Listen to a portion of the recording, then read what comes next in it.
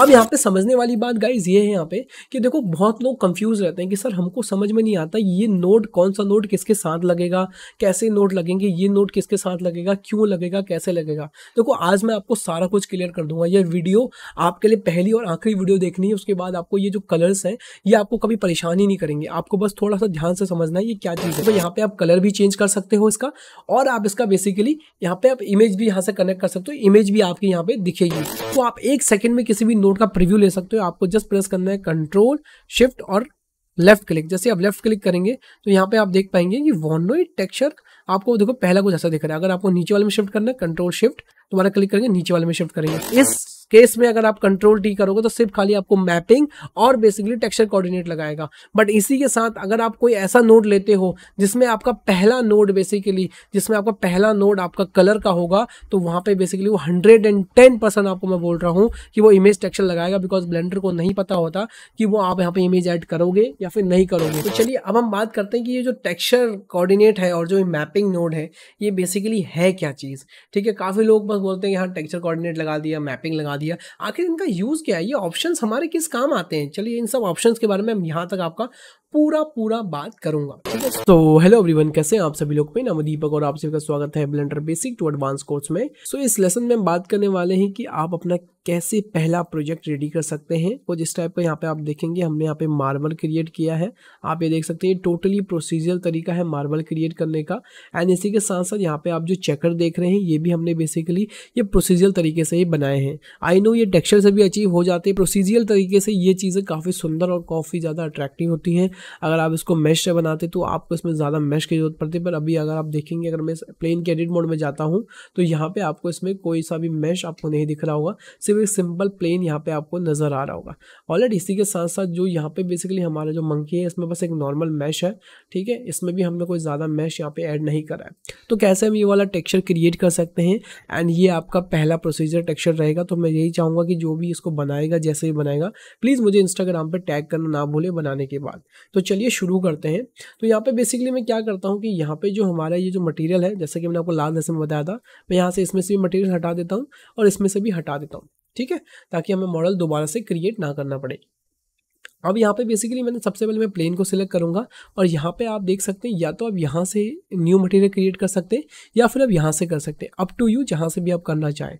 तो मैं यहाँ पे न्यू पे क्लिक करूँगा, यहाँ आप देखेंगे हमारा न्यू मटेरियल आ चुका है प्रिंसिपल बी एस डी अब बेसिकली प्रोसीजर टेक्चर में होता क्या है कि आपको एक चीज़ का ध्यान देना है।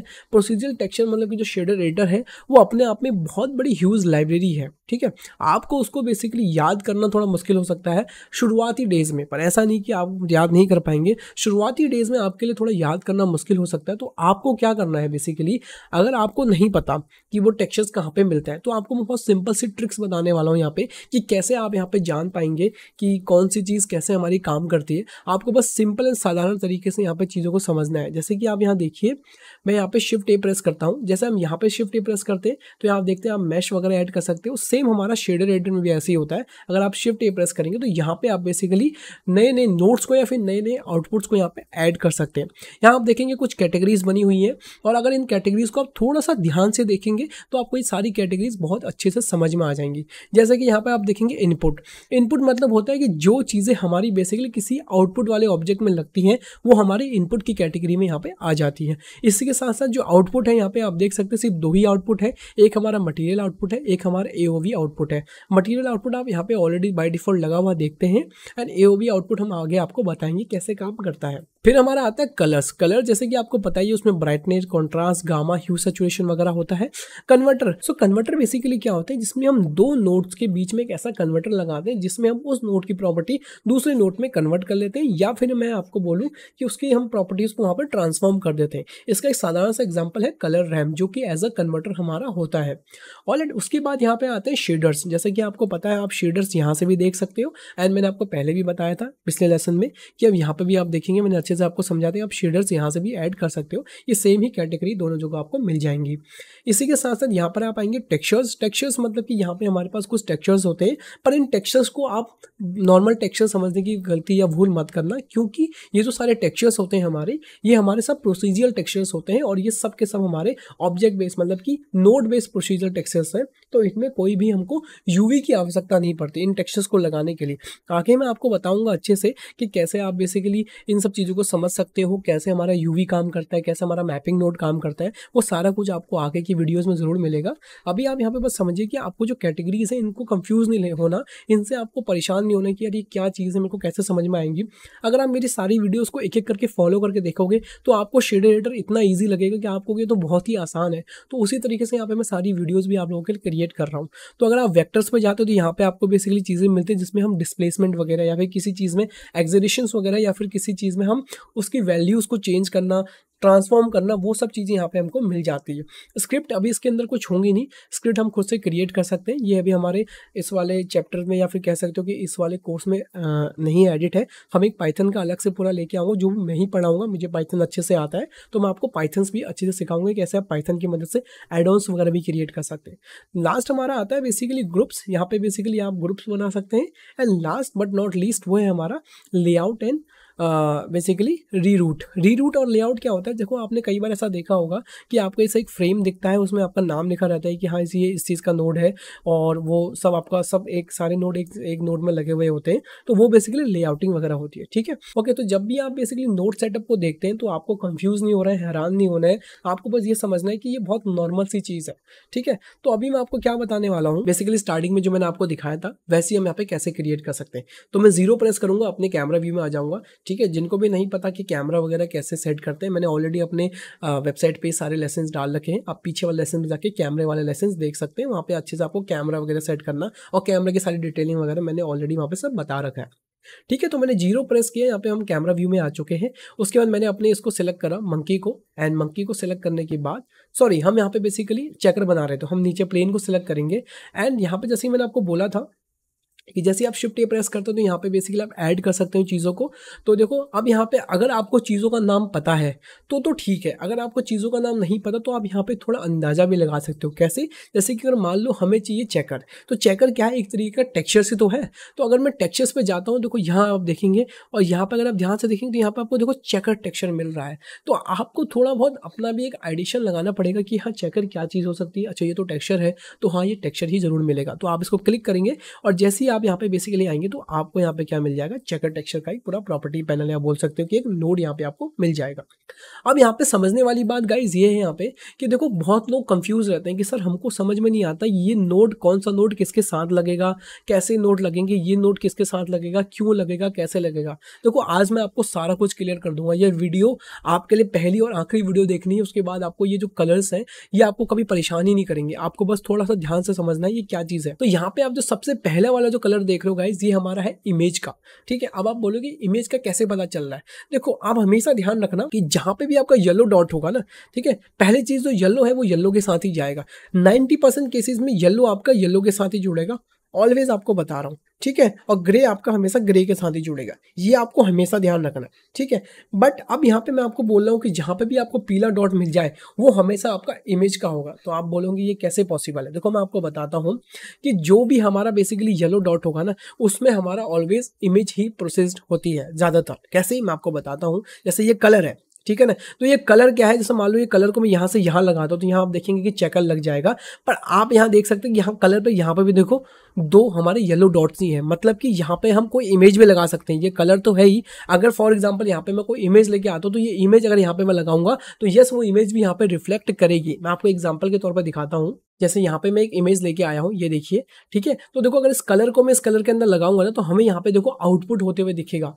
देख रहे हैं आप? तो यहाँ पे क्या इमेज हमको दिख रही है? तो ऑलवेज हमेशा ध्यान रखना कि यहाँ पे जब भी आपको पीला नोड मिले किसी भी टेक्सचर्स में, किसी भी नोड में तो समझ लेना कि उसमें इमेज तो हमेशा ही लगेगी। वो इनपुट आपका इमेज हमेशा एक्सेप्ट करेगा। जैसे मैं कुछ और आपको दिखा देता हूँ। जैसे मान लो कलर्स में आते हैं, ठीक है? ब्राइटनेस एंड कॉन्ट्रास्ट में। तो यहाँ आप देख सकते हो कलर है और यहाँ पे देखो ये पीला डॉट भी है। मतलब कि देखो यहाँ पे आप कलर भी चेंज कर सकते हो इसका और आप इसका बेसिकली यहाँ पे आप इमेज भी यहाँ से कनेक्ट कर सकते हो। इमेज भी आपकी यहाँ पे दिखेगी।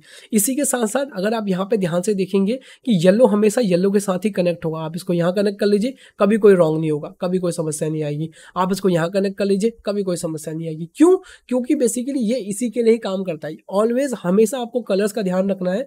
जब भी येलो कलर है नाइन्टी में ये येलो कलर ही लगेगा। ठीक है? अगर हम यहाँ पे आते हैं इस वाले सेक्शन पे, अगर आप ध्यान से देखेंगे गाइज़ तो यहाँ पे आपको तो कुछ मल्टीपल कलर दिख रहे जो आपको यहाँ पे दिख रहे होंगे। तो यहाँ पे क्या होता है, अगर हम इन कलर्स पे क्लिक करते हैं, इन वाले कलर्स पे तो यहाँ आप देखेंगे बेसिकली यहाँ पे बताता है आपको ये, कि कौन कौन से नोड बेसिकली यहाँ पे इस येलो डॉट को इनपुट कर सकते हैं। वहाँ पे सिर्फ़ वही नोड दिखाएगा जो आपके येलो डॉट्स यहाँ पे इनपुट कर सकता है। सेम यहाँ पे अगर मैं ग्रे वाले डॉट पे आता हूँ मेटालिक पे तो यहाँ पे हमें सिर्फ़ उतने ही नोट दिखाएगा जितने नोट यहाँ पे बेसिकली वो एक्सेप्ट कर सकता है। ठीक है? सिर्फ़ इतने ही नोट दिखाएगा। तो इससे भी आप अंदाज़ा लगा सकते हो कि हाँ ये कौन से नोट कितने चीज़ों को एक्सेप्ट करते हैं। ठीक है, मैं कंट्रोल जेड करता हूँ। ठीक है सेम यहाँ पे आप देख सकते हैं ये वाला तो यहाँ पे भी आपको वो वही चीज़ें दिखाएगा जो वो यहाँ पे एक्सेप्ट कर सकता है। जैसे कि अगर आप बेस में जाएँगे तो आपको इतनी चीज़ें दिखा रहे हैं तो इतनी चीज़ों को ये बेसिकली इनपुट कर सकता है। ये बेसिकली इनपुट ले सकता है टेक्सचर्स की चीज़ें ले सकता है कलर्स की चीज़ें ले सकता है और कन्वर्टर भी अपने आप में यहाँ पे इनपुट कर सकता है। इसी के साथ साथ यहाँ पे आपको बेसिकली ग्रीन कलर दिख रहा होगा, ठीक है? और ग्रीन कलर बेसिकली क्या है? यहाँ पे आप देखेंगे ग्रीन कलर को ऑलवेज क्या माना जाता है? राइट माना जाता है। राइट मतलब होता है कि बेसिकली जो ग्रीन कलर होता है ना ये हमेशा हमारे टेक्सचर्स होते हैं। ठीक है? टेक्सचर्स इन द सेंस मतलब कि इनको आप अपने हिसाब से मॉडिफाई कर सकते हो और ये सारे के सारे जितने भी ग्रीन कलर के डॉट्स होते हैं, जिन पर भी ग्रीन कलर का डॉट होता है, वो सारे हमारे बेसिकली शेडर्स होते हैं। ऑलवेज कीप इन माइंड वो हमारे सारे शेडर ही होंगे। तो यहाँ पे आप देखेंगे ग्रीन डॉट में आपको सारे शेडर ही यहाँ पे देखने को मिलते हैं। उसके बाद आते हैं हम बेसिकली अपने ये वाले डॉट में। क्या डॉट है? इसे हम कहते हैं नॉर्मल या फिर हम कह सकते हैं इसको ब्लू डॉट ब्लू डॉट हमेशा बेसिकली डिफॉर्मेशन वाली चीज़ों को यहाँ पे दर्शाता है। अगर मैं यहाँ पे आप देख सकते हो, देखो ये वैक्टर रहा, ठीक है? अगर मैं यहाँ पे शिफ्ट ए प्रेस करता हूँ, यहाँ पे मैं कोई भी एक शेडर लेके आता हूँ। फॉर एग्जांपल मैं यहाँ पे ग्लास एफ़ लेके आ गया तो यहाँ पे भी देखो आपको नॉर्मल का इनपुट दिख रहा है, ठीक है? मतलब क्या है कि यहाँ पे आप क्या इस ग्लास एफ़ में अगर कोई भी डिफॉर्मेशन डालना चाहते हैं तो यहाँ पे आप लेके आ सकते हैं। जैसे कि फॉर एग्ज़ाम्पल अगर मैं यहाँ पे एक नॉर्मल मैप या फिर बम्प लेके आऊँगा, देखो अगर मैं बम्प लेके आऊँगा तो बम्प के देखो इनपुट में और आउटपुट में भी देखो बेसिकली यहाँ पे वो ग्रीन कलर ही है सॉरी ब्लू कलर ही है, ठीक है? तो देखो इसको अगर मैं इसके साथ कनेक्ट करूँगा तो ये बेसिकली क्या है? परफेक्टली काम करेगा।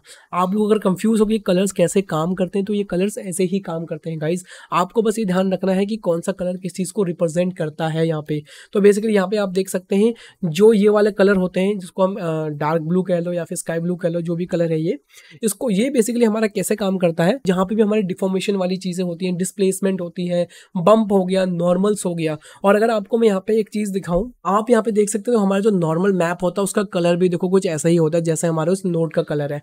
ठीक है ना? तो बेसिकली ये जो हमारी चीज़ है वाई भी किसको रिप्रेजेंट करता है यहाँ पे? चीज़ों को जिसमें हम डिफॉर्मेशन लगा सकते हैं, जिसमें हम एग्जीरेशन कर सकते हैं, वो कलर हमारे यहाँ पे ये काम आते हैं। अब बचे हमारे ये वाले सारे कलर्स ये सारे कलर्स क्या होते हैं? इनको हम कह सकते हैं कि इनमें हम मल्टीपल प्रॉपर्टीज़ को ऐड कर सकते हैं, इनमें हम चीज़ों को कस्टमाइज कर सकते हैं, और यहाँ पे बेसिकली हमारी वो चीज़ें लगती हैं जो हमारी इक्वेशन बेस्ड चलती हैं, या फिर हम कह सकते हैं कि जिनमें थोड़ा सा अगर मैं आपको एक आइडिया दूँ कि जिनमें ग्लॉस वगैरह हो सकता है या जिनमें हम प्रॉपर्टीज़ को ऐड कर सकते हैं, जिनमें हम बेसिकली ये रफनेस आईओआर ऐसी फिक्स वैल्यूज़ या फिर कह सकते हैं कि प्रोसीजर वैल्यूज़ डाल सकते हैं।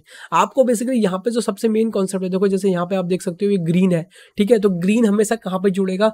जो बेसिकली आउटपुट नोट होता है ऑलमोस्ट नाइन्टी जो हमारा ग्रीन होता है, वो हमारा आउटपुट नोट पर रहता है। या फिर हमारा बेसिकली जो प्रोसीजर जहाँ मैंने यहाँ पे आपको बताया, ये सारे के सारे हमारे आउटपुट नोट्स यहाँ पर रखते हैं। जैसे मैं कुछ भी ले लूँ बैकग्राउंड भी अगर मैं ले लूँगा तो देखो यहाँ पे भी इसका आउटपुट नोट यहाँ पर रखा होगा, ठीक है? अगर यहाँ पे मैं बेसिकली बैकग्राउंड की जगह पे ग्लॉसी ग्लास भी ले लूँ तो इसमें देखो आउटपुट नोट हमारा ग्रीन ही होगा। तो जितने भी हमारे आउटपुट नोट्स होते हैं ना, वो हमारे ऑलवेज ग्रीन होंगे और वो ग्रीन हमेशा हमारे मटीरियल आउटपुट के साथ ही यहाँ पे लगेंगे। तो इसलिए मैंने आपको बोला था कि ये सारे प्रोसीजर टेक्सचर यहाँ देख सकते हो, सब में हमारा आउटपुट टेक्सचर तो यहाँ पे होगा ही होगा। ठीक है तो फ़िलहाल मैं यहाँ पे प्रिंसिपल पी को यहाँ पर ले आता हूँ वापस करके। ये हमारा प्रिंसिपल पी आ गया। ठीक है गाइस तो आई होप आपको ये कलर का जो सरदर्दी है, जो आपको समस्या होती है कि यार ये कैसे काम करता है बेसिकली और ये किन चीज़ों के लिए यूज़ होता है, ये बेसिकली इन्हीं सब चीज़ों के लिए यहाँ पे यूज़ है। तो कलर्स को आपको हमेशा कभी भी कंफ्यूज नहीं होना है कलर्स को लेके। ठीक है, अब मैं आपको दिखाता हूँ कि आप कैसे बना सकते हो ये इस टाइप के चेकर्स बेसिकली तो यहाँ पे क्या करूँगा, देखो जैसे मैंने आपको पहले बताया था कलर्स को मैं कलर के साथ जोड़ूँगा तो ऑलवेज ये कनेक्ट हो जाएगा। ठीक है, यहाँ पे हम बेसिकली कोई भी कलर दे सकते हैं। फॉर एग्ज़ाम्पल ये मैंने व्हाइट रख दिया। और नीचे वाला मैं रख देता हूँ यहाँ पे ब्लैक तो कुछ इस तरीके से ब्लैक एंड व्हाइट हमारा चेकर बोर्ड यहाँ पे बन चुका है। इसी के साथ इसकी रफनेस में यहाँ से कम कर सकता हूँ, ठीक है, कुछ इस तरीके से ताकि थोड़ा शाइनी लगे। और मेरे लिए अभी इनफ है इससे ज़्यादा, मेरे को इसमें और कुछ नहीं चाहिए, बस थोड़ा सा इसको मैं स्केल कर देता हूँ कुछ इस तरीके से। और इसमें स्केल अप्लाई करूँगा pressing the control A and apply the scale and उसके बाद मैं थोड़े से चेकर्स को छोटा करना चाहूँगा ताकि मुझे ज़्यादा चेकर्स दिखें तो मैं यहाँ से स्केल बढ़ा दूँगा। उसके बाद मैं कैमरे को सिलेक्ट करूँगा और कैमरे की प्रॉपर्टी में जाके व्यू पोर्ट डिस्प्ले में जाके यहाँ पे मैं बेसिकली पास पे आउट को इनेबल कर दूँगा, ताकि मैं अपना सिर्फ़ कैमरा व्यू यहाँ पे देख पाऊँ और यहाँ पे मैं कैमरे को अनलॉक करके उसको हल्का सा मैं ऐसे खिसका के यहाँ पे ले आता हूँ। दैट्स इट कूल लग रहा है। अब हम यहाँ पे क्रिएट करने वाले हैं बेसिकली का मार्बल टेक्सचर्स देखो मार्बल टेक्सचर बहुत इजी है क्रिएट करना। सेम चीज़ आप यहाँ से कर सकते हो या फिर यहाँ से कर सकते हो। आपको जैसे क्लिक करना है। क्लिक करने के बाद यहाँ पे आपको देखो प्रिंसिपल बी का नोड आ जाएगा। अब मैंने आपको एक चीज़ बोली थी कि यहाँ पे अगर आपको टेक्सचर्स का नाम पता है तो आप तो सेलेक्ट शिफ्ट ए करके, वर्नोई करके यहाँ पे सर्च करेंगे तो आप देखेंगे कोई भी टेक्सचर आ जाएगा, या फिर यहाँ पे हम वेव टेक्सचर लेके आते हैं तो देखो वेव टेक्सचर यहाँ पे आ चुका है। अगर आपको पता है तो आप सर्च कर सकते हो, अगर आपको नहीं पता तो आप ढूंढ भी सकते हो। ठीक है? जैसा कि मैंने आपको बोला था कि कलर्स ऑलवेज कलर में इनपुट होगा, और एफएसी हमेशा इन सब वैल्यूज़ में यहाँ पे इनपुट होगा। तो मैं कलर्स को ऑलवेज कलर में इनपुट करूँगा तो हमको कुछ इस टाइप का यहाँ पे देखो व्यू यहाँ पे देखने को मिल रहा है। फ़िलहाल गिज्मो को हाइड कर दो, ताकि हम अच्छे से विजिबल कर पाए और इसको भी हाइड कर देता हूँ। ठीक है, अब यहाँ पे बेसिकली क्या है, मैंने आपको बोला था जो ये जो टेक्सचर्स होते हैं, ये हमारे नॉर्मल टेक्सचर्स नहीं होते हैं कि हाँ इनमें हमें यूवी की समस्या होगी, नहीं, ये हमारे टोटली देखो प्रोसीजियल टेक्सचर्स होते हैं, ये ऑब्जेक्ट के अकॉर्डिंग अपने आप को चेंज कर सकते हैं। ठीक है तो यहाँ पे मैं जो स्केल की वैल्यू है वो थोड़ा कम लेके आता हूँ, जैसे मान लीजिए मैं यहाँ पे थ्री लेके आया कुछ इस तरीके से। एंड उसके बाद यहाँ पे जो डिस्टॉशन की वैल्यू को मैं थोड़ा इंक्रीज करूँगा। देखो, जैसे ही मैं डिस्टॉशन को इंक्रीज करूँगा, आप देख पा रहे होंगे, यहाँ पे हमें कुछ इस टाइप का इफ़ेक्ट क्रिएट होते हुए मिल रहा है जैसे हमारे घरों में जो टाइल्स होती हैं, वो कुछ इस तरीके से दिखती हैं, देखो। ठीक है, अभी क्या है इफ़ेक्ट तो अच्छा हो गया है, पर अगर आपने कभी भी कोई मार्बल देखा होगा तो वहाँ पे क्या होता है, जो ये ब्लैक डॉट्स होते हैं ना बेसिकली ये हमारे बेसिकली बहुत ज़्यादा शार्प होते हैं। ठीक है, पर यहाँ पे आप देख रहे हो बहुत ज़्यादा धुंधले से लग रहे हैं। ठीक है, अगर हम इसमें स्केल बढ़ा भी दूँ, तब भी ये ज़्यादा फ़र्क नहीं पड़ रहा है इनसे। तो उसके लिए हम क्या करेंगे? जैसे कि मैंने आपको बोला था, दो नोड के बीच की वैल्यू को मेंटेन करने के लिए हमें लगाने होते हैं कन्वर्टर तो देखो, जैसे ही मैं शिफ्ट ए प्रेस करूँगा और यहाँ पे मैं जैसे ही कन्वर्टर पर जाऊँगा तो यहाँ पे हमें मिल जाएगा कलर रैम तो जैसे ही मैं इस कलर रैम को ऐड करूँगा और यहाँ पे मैं जैसे ही इन दोनों के बीच में छोड़ूँगा तो यहाँ पे क्या होता है? अगर ये कन्वर्टर इसके लिए वर्क फुल होगा या फिर काम होगा तो देखो तुरंत इसके साथ ये लग जाएगा, देखो, छोड़ते लग जाएगा, तुरंत लग गया। जैसा मैंने आपसे बोला था कि कलर ऑलवेज कलर्स पे लगेगा। अब यहाँ पे आप लोग का एक क्वेश्चन होगा कि ये यहाँ पे बेसिकली कैसे? तो क्या एफ़ जो वैल्यू होती है जैसे हम कहते हैं फैक्टर वैल्यू और फैक्टर वैल्यू हमारे इमेज वाले नोट को भी एक्सेप्ट कर लेती है। ठीक है ना? तो एफएसी मतलब यहाँ पे फैक्टर वैल्यू होता है, जिनमें भी हमारी कन्वर्टर्स होते हैं जिसमें भी हमारी माइनस प्लस की वैल्यूज़ होती हैं, उसमें हमारी बेसिकली कलर या इमेज लग जाता है। जैसे कि अगर एग्जांपल दूँ कि आप यहाँ पे रफनेस के लिए भी यहाँ पे रफनेस का मैप लगा सकते हो अल्फ़ा के लिए भी अल्फ़ा का मैप लगा सकते हो तो इमेज यहाँ पे एक्सेप्टेबल होती हैं। ठीक है जी? जैसे हमने ये लगाया तो यहाँ पे आप देख पा रहे होंगे कि अगर मैं इसको यहाँ से तो छोटा कम कर रहा हूँ तो आप देख रहे चीज़ें यहाँ पे शार्प हो रही है। पर देखो, जैसे ये चीज़ें शार्प हो रही है ना मैं इसी के साथ साथ यहाँ पे जो ये कि ये स्मूथनेस भी है इसकी, ये वाली, ये हमारी थोड़ी मिसिंग आ रही है। देखो, इस तरीके से। तो इसको बचाने के लिए हम क्या करेंगे? यहाँ पे बेसिकली हम एक और नोड ऐड करेंगे और उसको हम थोड़ा सा ऐसे अंदर को करेंगे कुछ इस तरीके से। उसके बाद एक और करेंगे और इसको हम थोड़ा सा और अंदर को करेंगे कुछ इस तरीके से। तो यहाँ पे आप देखेंगे हमारी स्मूथनेस भी बच गई और यहाँ पे बेसिकली हमारा ये मार्बल का टेक्सचर भी बन चुका है। अब इसको थोड़ा सा और रियलिज्म लाने के लिए हम यहाँ पे क्या करेंगे? इसकी जो रफनेस की वैल्यू है उसको थोड़ा कम कर देंगे और यहाँ आप देखिए जैसे ही रफनेस की वैल्यू कम हुई हमारे यहाँ पे जो मार्बल है, वो काफ़ी ज़्यादा यहाँ पे सुंदर लगने लग गया है। वो काफ़ी ज़्यादा क्यूट लगने लग गया है। आप यहाँ से देख सकते हैं। चीज़ों को आप यहाँ से बेसिकली डिटेलिंग और ऐड कर सकते हो इफ़ यू वांट और इसी के साथ साथ डिटेल का स्केल भी कर सकते हो। अगर आपको अपने हिसाब से डिज़ाइन सेट करना है तो ठीक है? ये देखिए, ये भी ठीक लग रहा है, पर ये ज़्यादा अनिवन लग रहा है तो मैं इसको थोड़ा कम ही रखूँगा। ठीक है? यस लुकिंग नाइस यहाँ से उसको आप फेस ऑफ़ भी कर सकते हो। ये बेसिकली एक तरीके से ऑफसेट करना होता है ऑलरेड गाइज़ तो इस तरीके से बेसिकली आप यहाँ पे क्रिएट कर, इसको मैं फ़िलहाल ज़ीरो पर रखता हूँ। सॉरी थोड़ा सा कम।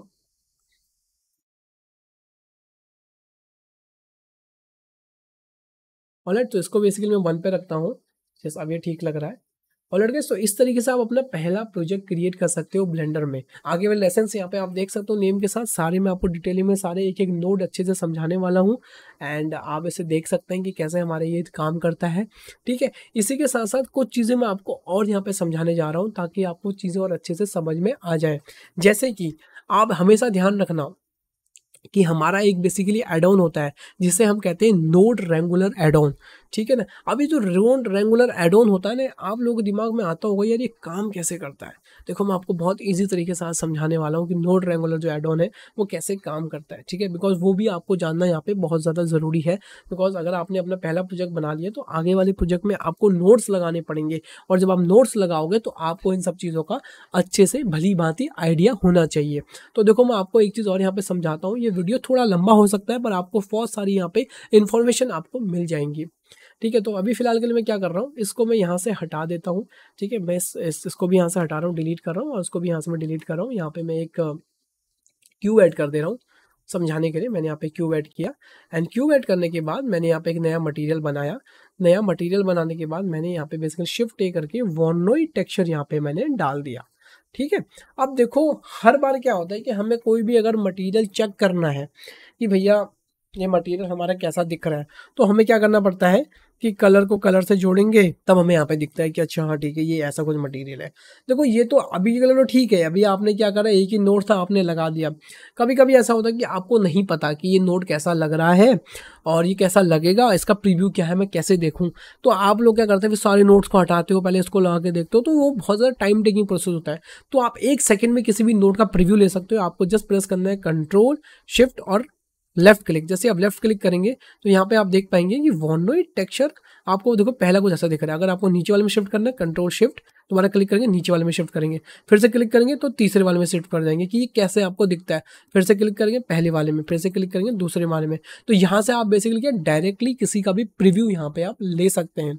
इसी के साथ साथ अगर आपको वापस जोड़ना है तो आपको जिस प्रिंसिपल बी एस पे कंट्रोल शिफ्ट क्लिक करेंगे तो आप डायरेक्टली प्रिंसिपल बी एस यहाँ पे जोड़ लेंगे। एंड गाइज़ यहाँ पे एक बहुत इंपॉर्टेंट चीज़ ये भी है कि अगर आप कंट्रोल शिफ्ट एंड क्लिक करके क्लिक करते हो, अगर आपका प्रिव्यू नहीं दिखता, जैसे मेरा प्रिव्यू दिख रहा है तो इसका मतलब ये है कि आपका वो जो एड ऑन है यहाँ पे वो इनेबल नहीं है। उसके लिए आप क्या करेंगे? एडिट पे जाएँगे प्रेफरेंस पे जाएँगे और यहाँ पे आप लिखेंगे एड ऑन सेक्शन में जाके यहाँ पे आप लिखेंगे नोड रेंगुलर और जैसे ही हम यहाँ पे नोड रेंगुलर लिखेंगे तो आपको ये एड ऑन मिल जाएगा। आपको जस्ट यहाँ से बेसिकली से इनेबल कर लेना है। उसके बाद जितनी भी शॉर्टकट कीज़ मैं यहाँ पे यूज़ कर रहा हूँ, वो आपको सारी यहाँ पे यूज़ होते हुए दिख जाएँगी। ठीक है? फ़िलहाल के लिए मुझे ये ठीक लग रहा है। मैं इसको इसके साथ जोड़ देता हूँ कुछ इस तरीके से। अभी फ़िलहाल के लिए ठीक है। अब यहाँ पे एक बहुत कॉमन शॉर्टकट की है, वो है हमारी बेसिकली कंट्रोल टी देखो कंट्रोल टी और कंट्रोल शिफ्ट टी ये दो टाइप के यहाँ पे बेसिकली हमारे शॉर्टकट कीज़ हैं और इनमें लोग बहुत ज़्यादा कंफ्यूज रहते हैं। देखो, जब आप किसी भी ऑब्जेक्ट का कंट्रोल टी करते हो तो उसमें आप बेसिकली उसका मैपिंग नोड लगा लेते हो। अब आप बोलोगे, ये मैपिंग नोड क्या चीज़ है भाई? मैं मैपिंग नोड कैसे समझूँ? ये मैपिंग नोड तो बहुत कॉम्प्लिकेटेड लग रहा है। इन सब का मतलब क्या होता है? तो इन सब का मतलब आपको मैं आज इस वीडियो में कंप्लीटली बता दूँगा। आप इसमें से सारे ऑप्शंस के मतलब परफेक्टली जान जाएँगे कि कैसे हमारा बेसिकली ये सारा चीज़ काम करता है। ठीक है ना? बट पहले हम समझते हैं कंट्रोल टी और कंट्रोल शिफ्ट टी में क्या फ़र्क है। देखो कंट्रोल टी से आप किसी भी बेसिकली ऑब्जेक्ट का यहाँ पे क्या कर सकते हो? बेसिकली मैपिंग नोड खोल सकते हो। पर यहाँ पे एक ट्रिक है और यहाँ पे एक जो ट्रिक है वो क्या है कि अगर आप किसी भी प्रोसीजियल टेक्सचर पे कंट्रोल टी करते हो, जैसे मैं इसको डुप्लीकेट कर रहा हूँ, अगर हम किसी प्रोसीजियल टेक्सचर पे कंट्रोल टी करते हैं तो हमें को सिर्फ़ टेक्सचर कोऑर्डिनेट और मैपिंग नोड मिलता है। एंड इसी के साथ साथ अगर आप किसी शेडर को डुप्लीकेट करके अगर आप किसी शेडर पे कंट्रोल टी करते हो तो यहाँ पे आपको क्या करेगा कि अगर आप ध्यान से देखोगे, मैं इसको थोड़ा मूव करता हूँ। आपको यहाँ पे वो मैपिंग नोट तो लगा के देगा ही देगा। ठीक है, यहाँ देखिए ये रहा। आपको यहाँ पे मैपिंग और टेक्सचर कोऑर्डिनेट तो लगा के देगा ही देगा। इसी के साथ साथ यहाँ पे आपको वो इमेज टेक्सचर भी लगा के देगा। अब यहाँ पे आप बोलेंगे कि इसमें तो इमेज टेक्सचर लगा हुआ आया बट इसमें इमेज टेक्सचर लगा हुआ क्यों नहीं आया? देखो, यहाँ पे सबसे बड़ा ट्रिक यही है, जो मैं आपको शुरू से समझा रहा हूँ। देखो, यहाँ पे कोई भी इनपुट हमारा कौन सा नहीं है? इमेज वाला इनपुट नहीं है। तो मतलब ब्लेंडर कन्फर्म है कि इसमें कोई इमेज वाला काम हो ही नहीं सकता। इसमें आप कोई भी इमेज लगाओगे तो इमेज अच्छे से काम करेगी नहीं, क्योंकि यहाँ पर वैक्टर है और बाकी सब चीज़ें हैं। इन सब चीज़ों में इमेज का तो कोई काम ही नहीं है। तो वो पहले से समझ जाता है कि हाँ ये प्रोसीजर टेक्सचर है, इसमें इमेज की ज़रूरत ही नहीं है। पर जब हम पकड़ते हैं किसी भी शेडर को तो उसमें बेस कलर में हम इमेज भी लगा सकते हैं, जो कि आप लोगों को पता है कि हम यहाँ पे इमेज भी लगा सकते हैं। तो ब्लेंडर वहाँ पे श्योर नहीं होता कि आप इमेज लगाएँगे या फिर नहीं लगाएँगे। उस कारण वर्ष से वो क्या करता है, यहाँ पे इमेज भी आपको एक्स्ट्रा ऐड करके दे देता है। कभी कभी ऐसा होता है कि आपको इमेज की ज़रूरत होती नहीं, आप इसको डायरेक्टली यहाँ से कनेक्ट करते हो इमेज वाले को यहाँ से आप डिलीट कर देते हो। पर ब्लेंडर को नहीं पता कि आप इस पर इमेज लगाओगे या नहीं लगाओगे। जैसे कि फॉर एग्ज़ाम्पल मैं यहाँ पे कुछ और ले लेता हूँ। जैसे कि हम यहाँ पे आ जाते हैं टेक्सचर्स में ही। आ, हम ले आते हैं एक वेब टेक्सचर्स तो ये हमारा प्रोसीजर टेक्सचर हो गया। एंड इसी के साथ साथ अगर हम यहाँ पे कोई भी कन्वर्टर या फिर कोई भी फॉर एग्जांपल मैं कन्वर्टर ही ले लेता हूँ कलर रैम्प ले लेता हूँ। ठीक है कलर रैंप ना लूँ या फिर मैं यहाँ पे कौन सा चीज़ ले लूँ? कलर ले लेते हैं ब्राइटनेस कॉन्ट्रास्ट हाँ इसमें देखो यहाँ पे येलो डॉट है। अब आप ध्यान से देखना यहाँ पे अगर मैं इसको क्लिक करूँगा तो यहाँ पे देखो कोई भी येलो डॉट नहीं है। और ऐसा नहीं कि यहाँ पे अगर बीच में येलो डॉट हुआ और तब वो लेगा। नहीं फ़र्स्ट वाले में ही आपका येलो डॉट होना चाहिए, तभी ब्लेंडर आपका बेसिकली इमेज टेक्सचर लेके आएगा। अदरवाइज़ अगर आप कंट्रोल टी करेंगे तो आपको सिर्फ़ मैपिंग और टेक्सचर कोऑर्डिनेट लगाएगा। तो देखो, यहाँ पे इसका फ़र्स्ट वाले में ही इमेज टेक्सचर का ऑप्शन आ रहा है। अगर आप कंट्रोल टी करेंगे तो यहाँ पे वो इमेज टेक्सचर भी देगा। इस चीज़ से भी आप कंफ्यूज मत होना बिकॉज़ काफ़ी लोग यहाँ पे ये चीज़ से कंफ्यूज हो जाते हैं। देखो, आपको मैं दिखाता हूँ फिर से। जैसे मान लो, अगर आप यहाँ पे लेके आए फॉर एग्ज़ाम्पल मैं यहाँ से शेडर में से लेके आ गया। कौन सा शेडर लेके आऊँ? जैसे कि हमने यहाँ पे ले लिया, या टेक्सचर्स में से हम लेके आ जाते हैं। नॉइस टेक्सचर वनोई टेक्सचर्स नहीं वनोई टेक्सचर में तो नहीं है हमारा।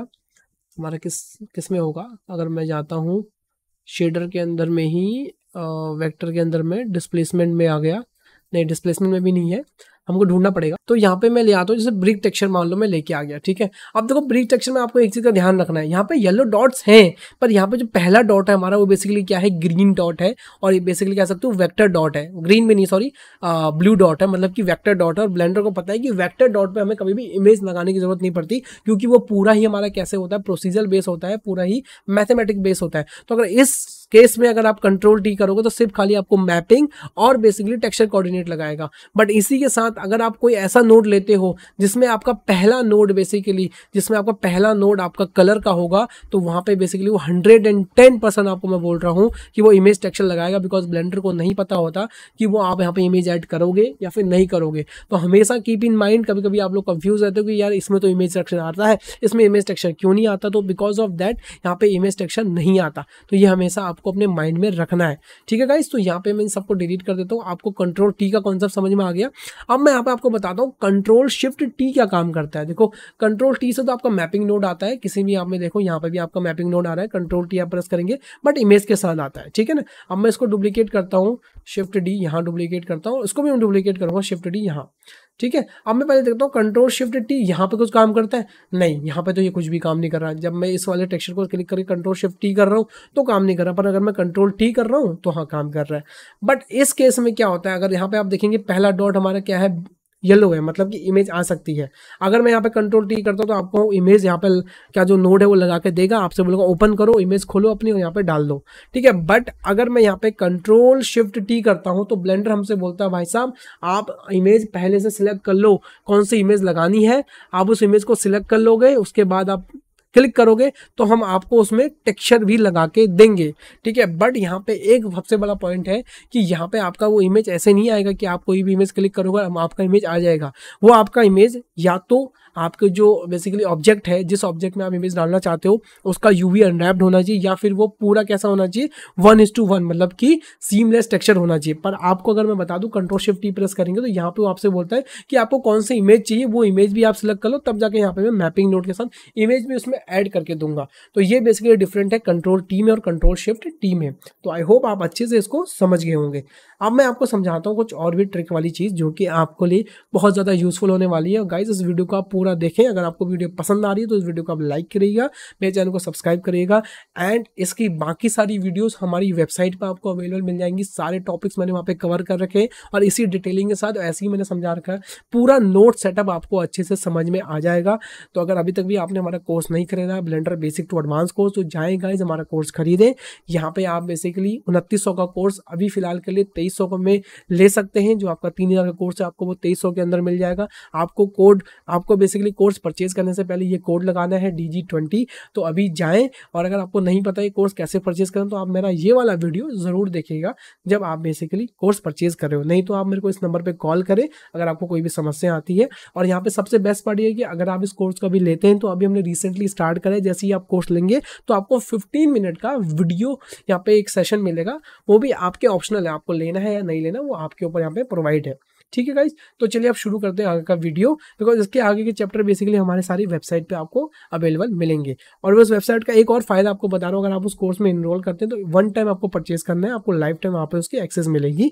एंड अभी तक उसमें बहुत सारे चैप्टर्स हमने डाल दिए हैं। आप जाके एक बार वेबसाइट विज़िट कर सकते हैं, और ज़्यादा इन्फॉर्मेशन के लिए मुझे पर्सनल कॉल या फिर व्हाट्सअप कर सकते हैं। Thank you all at guys तो चलिए, अब हम बात करते हैं कि ये जो टेक्सचर कोऑर्डिनेट है और जो मैपिंग नोड है, ये बेसिकली है क्या चीज़? ठीक है, काफ़ी लोग बस बोलते हैं यहाँ टेक्सचर कोऑर्डिनेट लगा दिया मैपिंग लगा दिया। आखिर इनका यूज़ क्या है? ये ऑप्शंस हमारे किस काम आते हैं? चलिए, इन सब ऑप्शंस के बारे में यहाँ तक आपका पूरा पूरा बात करूँगा। ठीक है ना? चलिए, शुरू करते हैं। तो सबसे पहले यहाँ पे हम बात करते हैं जनरेटेड का। देखो जनरेटेड क्या होता है कि जब आप ब्लेंडर में कोई भी एक नया ऑब्जेक्ट ऐड करते हो तो बाय डिफ़ॉल्ट वो जैसे जनरेट होता है। ठीक है ना? वैसे ही हमारी चीज़ें यहाँ पे बेसिकली काम करती हैं, ठीक है ना? तो उसके लिए क्या है, ये जनरेटेड ऑब्जेक्ट है। मतलब कि इसमें अगर आप कोई भी चेंजेस करते हो फॉर एग्जांपल आप उसको स्केल करते हो तो इसमें आपका देखो टेक्सचर परफेक्टली स्केल हो जाएगा, कोई दिक्कत नहीं कहीं भी स्ट्रेचनेस नहीं आएगी। डिटेल डाल लो डिटेल आ जाएगी परफेक्टली रफनेस डाल लो अच्छे रफनेस आ जाएगी। कोई भी यहाँ पे समस्या यहाँ पे क्रिएट नहीं होगी, ठीक है ना? आप इसको स्केल कर सकते हो, देखो परफेक्टली स्केल मूव हो रहा है, ये आप देख सकते हैं, ठीक है? इसको आप रोटेट कर सकते हो, यहाँ से आप इसको स्केल कर सकते हो, कोई समस्या नहीं है, ठीक है? ये हमारा जनरेट है। और पर यहाँ पे जो हमारा बेसिकली यूवी है। अब यहाँ पे ना आपको एक चीज़ ध्यान रखना है, जो ये जनरेट और यूवी है ना, इसमें बहुत बड़ी ट्रिक है। ट्रिक कैसी है? देखो नॉर्मल पे मैं अभी आऊँगा। पहले मैं आपको इन दोनों को एक साथ समझा देता हूँ बिकॉज़ ये दोनों ही हमारे लिए बहुत यूजफुल है। ठीक है, और दोनों आपस में बहुत जुड़े हुए हैं।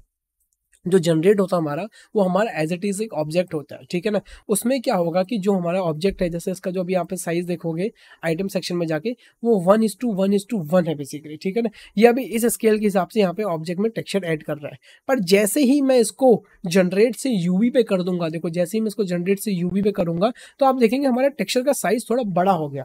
अब यहाँ पे आपका क्वेश्चन होगा, यार ये बड़ा कैसे हो गया? मतलब जनरेट भी वही है यूवी भी वही है। तो अब यहाँ पे जो समझने वाली बात ये है कि जो हमारा बेसिकली यूवी है ना, अब ये इसके जो यूवी है बाय डिफ़ॉल्ट यूवी इसके खुले रहते हैं, मैं आपको दिखाता हूँ।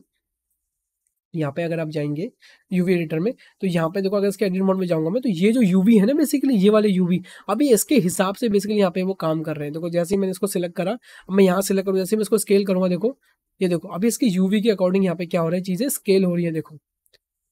ठीक है? तो आपको ऑलवेज ध्यान रखना है कि अगर मान लो मैं इसको ऐसे स्ट्रेच करता हूँ, देखो, मैं अगर इसको इसको सिलेक्ट करता हूँ और उसको मैं स्केल करता हूँ तो देखोगे अब ये देखो स्ट्रेच हो रहा है। क्यों? क्योंकि अब ये यूवी के अकॉर्डिंग चल रहा है, ध्यान से देखिएगा। अभी हमारा ये यूवी के अकॉर्डिंग चल रहा है। देख रहे हैं? बट अगर इसी के साथ अगर मैं जनरेट में हूँ, यहाँ पे बेसिकली और अगर मैं इसको यहाँ पे स्केल करता हूँ, ये आप देखिए, ठीक है, कैसे भी स्केल करता हूँ तो देखो वो उसका ना यूवी खराब मतलब वो स्ट्रेच नहीं हो रहा है। देखो वो बस नया बनते चले जा रहा है। देखो, बनते चले जा रहा है। बनते चले जाएगा। मैं जी एस और एक्स कर रहा हूँ या वाई कर रहा हूँ, देखो, नया बनते चला क्यों? क्योंकि ये जनरेट है, ठीक है ना? बट इसी के साथ अगर मैं यूवी से कर रहा हूँ इसको तो आप देखेंगे ये स्केल हो जा रहा है। क्यों? क्योंकि यूवी हमारे लिमिटेड है और उस यूवी से अगर वो ज़्यादा स्केल हो रहा है तो हमारे चीज़ यहाँ पे स्केल होते हुए दिख रही है। एंड यहाँ पे जनरेट को आपको मैं एक तरीके से और भी समझा सकता हूँ। जनरेट का मतलब क्या? जैसा अगर मैं इसको क्लिक करूँगा यहाँ पर अगर मैं जाता हूँ तो जैसे जैसे मैं इस ऑब्जेक्ट को जनरेट करूँगा, जैसे कि फॉर एग्जांपल मैं थ्री पे जा रहा हूँ एक्सट्रूड कर रहा हूँ तो जैसे जैसे मैं इसको जनरेट करूँगा, देखो वैसे वैसे हमारा बेसिकली क्या है, वो टेक्सचर इसके साथ जनरेट होते जा रहा है डजेंट मैटर कि उसकी शेप कैसी हो रही है, वो कर्व जा रहा है या नहीं जा रहा, उसको उससे मतलब ही नहीं है, वो बस उस ऑब्जेक्ट को जनरेट कर रहा है, जैसे ही ऑब्जेक्ट घूमेगा, वो वैसा ही उसको जनरेट कर देगा, उसमें कोई स्ट्रेसनेस आएगी ही नहीं, ठीक है? पर यूवी वाले सेक्शन में ऐसा नहीं है, अगर आप यूवी वाले में करके ये चीज़ करते हैं, मैं आपको दिखाता हूँ, अगर आप यूवी वाले में ऐसा चीज़ करते हैं। आपको मैं ऐसे भी एग्जांपल दिखाता हूँ। ये देखो तो वो देखो स्ट्रेच होना स्टार्ट हो जाएगा। देखो स्ट्रेच हो गया टेक्सचर ये देखो टेक्सचर आपका स्ट्रेच होना स्टार्ट हो गया। यहाँ पे बेसिकली वो अब यूवी स्ट्रेच हो रहा है, ठीक है? तो ये भी एक फ़र्क है बेसिकली हमारा किसमें बेसिकली यूवी और हमारा जनरेट में।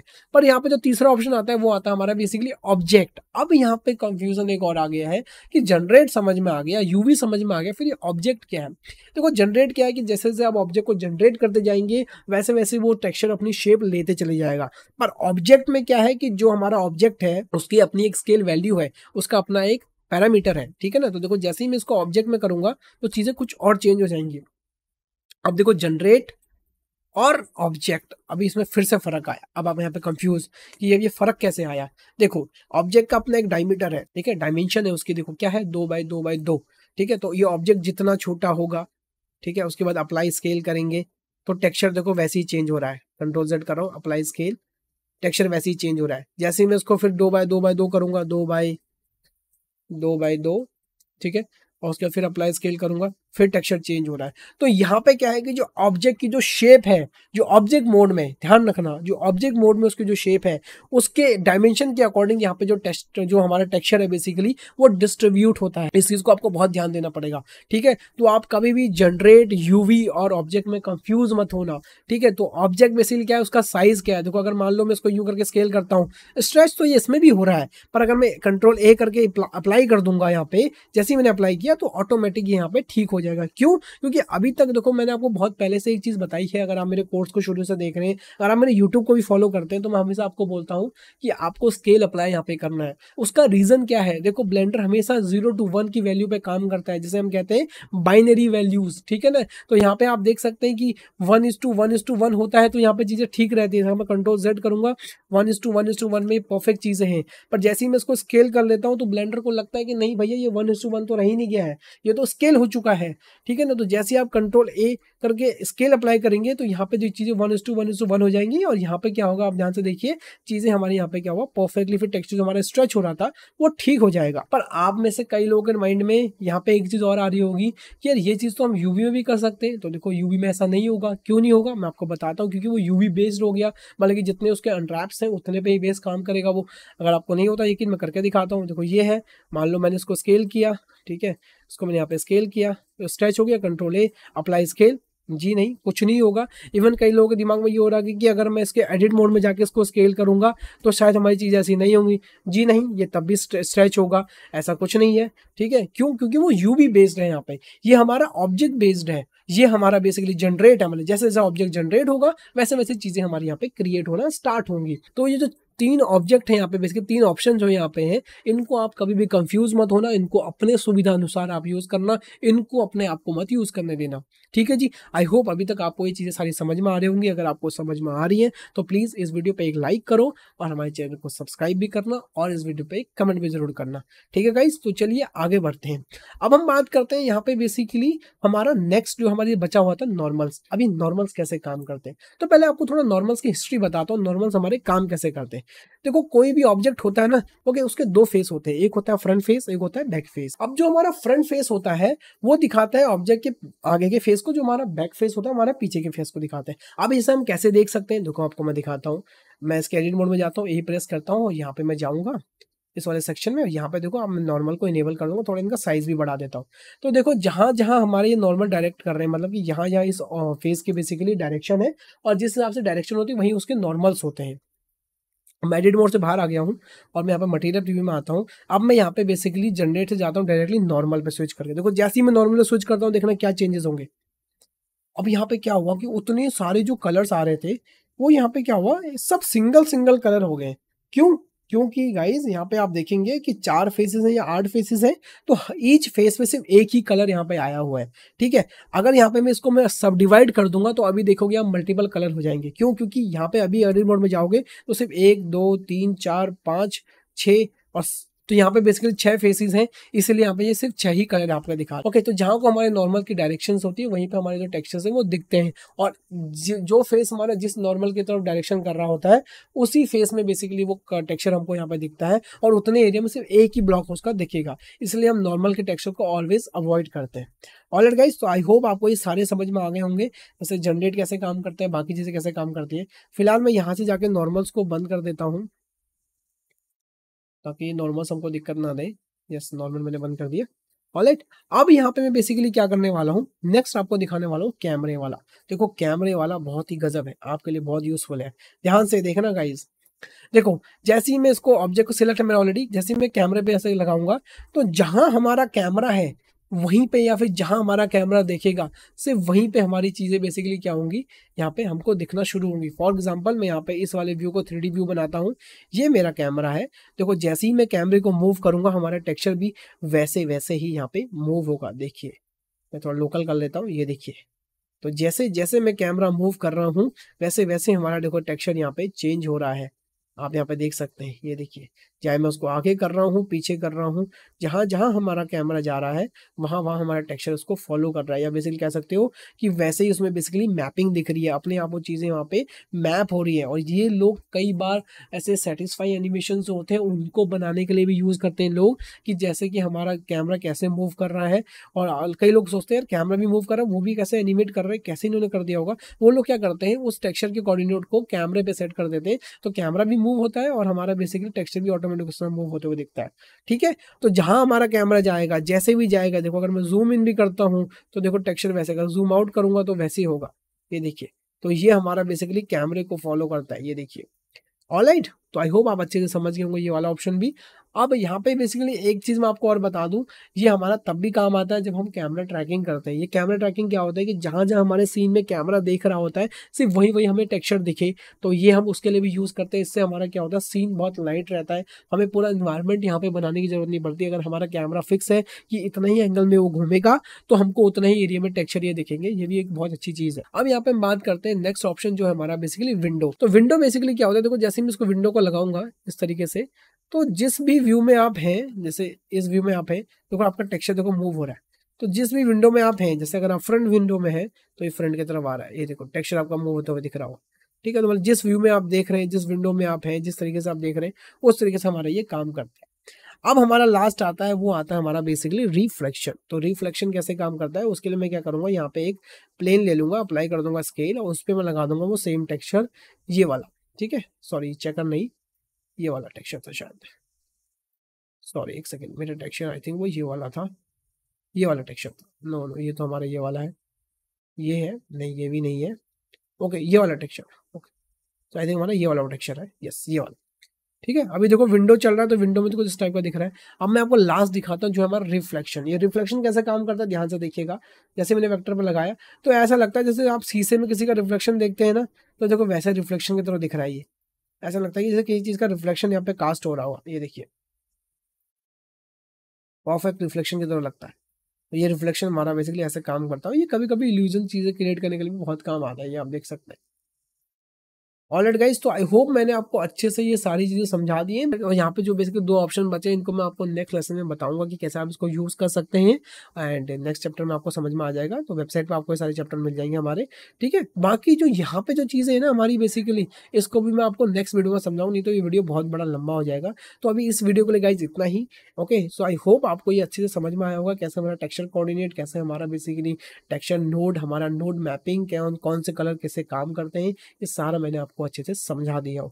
तो आई होप गाइज़ आपको ये वीडियो से बहुत कुछ आज सीखने को मिला हो। अगर आपको सीखने को मिला तो इस वीडियो को एक लाइक कीजिएगा, मेरे चैनल को सब्सक्राइब कीजिएगा एंड ज़्यादा से ज़्यादा इस वीडियो को लोगों के साथ शेयर करेगा एंड गाइज़ अगर अभी तक आपने नहीं लिया हमारा Blender basic to advance course तो जाइए गाइज़ ऐसे ही इंटरेस्टिंग एंड बहुत नॉलेजफुल कॉन्टेंट वहाँ पे हम बनाते हैं, आपको देते हैं। बिकॉज़ अगर हम आपसे किसी चीज़ का पैसा ले रहे हैं, वो भी बहुत रीजनेबल प्राइस में, दो हज़ार, ढाई हज़ार आपके लिए कुछ नहीं है। वन टाइम परचेज करना है, उसके बाद उसको लाइफ टाइम आपको एक्सेस मिलेगी और ऐसा ही क्वालिटी कंटेंट वहाँ पे आपको अच्छे से मिल रहा है, जिन लोगों ने खरीदा है, उन लोगों के रिव्यूज़ अच्छे हैं, मेरे को व्हाट्सअप करके बोलते हैं, सर, मज़ा आया हमको सीख के। तो गाइज़ एक टाइम का आपका परचेज़ है और ढाई हज़ार रुपये से अगर आप कोई चीज़ अच्छे से लर्न कर सकते हो, वो भी एकदम सिस्टमेटिक तरीके से तो आई थिंक मेरे हिसाब से ढाई हज़ार कोई आपके लिए बड़ी बात नहीं है। तो जाए गाइज़ अभी उसको परचेज़ करें, अभी उस पर सेल चल रही है और ढाई हज़ार से भी कम प्राइस में आपको मिल रहा है, वो सिर्फ़ तेईस सौ निन्यानवे में। तो जाए और परचेज़ करते समय आप ये कोड लगाना ना भूलें D G twenty so guys मिलते हैं नेक्स्ट लेसन में, तब तक अपना ध्यान रखिए bye bye take care stay home guys and love you all.